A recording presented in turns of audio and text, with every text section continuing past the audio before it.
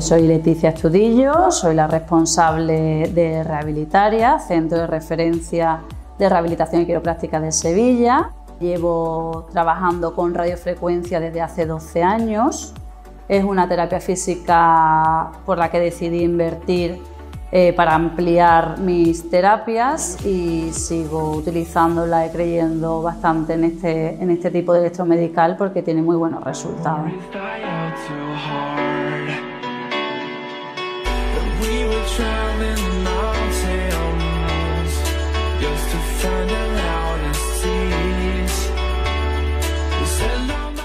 Empecé trabajando con radiofrecuencia hace 12 años en un centro en Italia donde además había un gran número de terapias físicas, eh, láser, ultrasonido, campos magnéticos, además de terapias con, agua.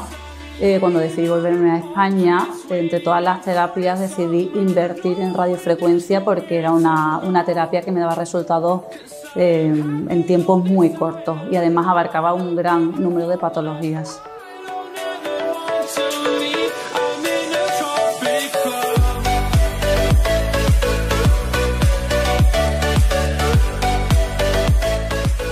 Normalmente en, poco, en pocas sesiones se ven resultados y es algo muy positivo de cara a la familia.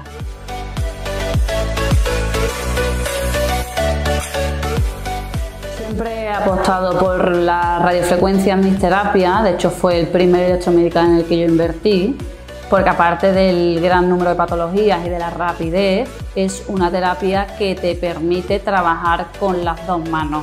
Es decir, existen otros electromedicales que mientras los utilizas no puedes hacer nada más, pero la radiofrecuencia, además de eh, tratar eh, dolor, inflamación y bioestimular, te permite trabajar, por ejemplo, el rango de movimiento de ciertas articulaciones, con lo cual los resultados son eh, realmente sorprendentes.